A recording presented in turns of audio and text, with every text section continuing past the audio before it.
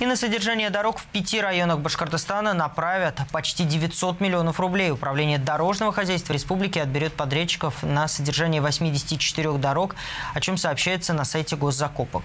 Дорожные работы будут вестись в Краснокамском, Стерлибашевском, Училинском, Стерлитамакском и Баймакском районах. Средства выделят из бюджета республики. До октября 2024 года подрядчики должны устранить дорожные дефекты, нанести разметку, очистить дорогу, тротуары и лесополосу от захламленности, окрасить перила и заграждение мостов, установить аншлаги и панно. Ранее глава Минтранса Республики Александр Булушев сообщал, что республика вошла в пятилетнюю программу модернизации опорных дорог России. По ней до конца 2027 года в Башкортостане планируют привести в порядок, в частности, дорогу Сибай-Акьяр.